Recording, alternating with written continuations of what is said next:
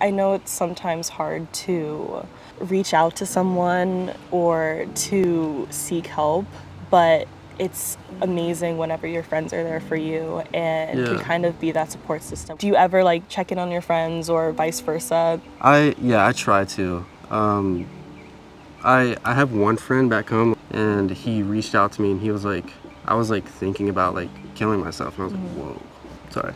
No, no, it's good. Um. Yeah. You never know what someone's going through. Yeah. It's like a relief off of my shoulders too. Yeah. Because he he actually did reach out when he, he didn't have to, you know? Yeah, I feel like it's very important if someone does feel that way to know that there is help out there. What keeps you hopeful? What brings you hope? So I feel like having like goals, they don't have to be big goals, just like like a bunch of little goals, just have something to always look forward to in a day.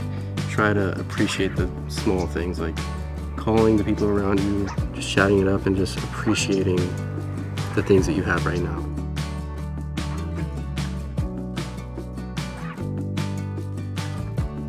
For more resources on how to check in on a friend, go to seizetheawkward.org.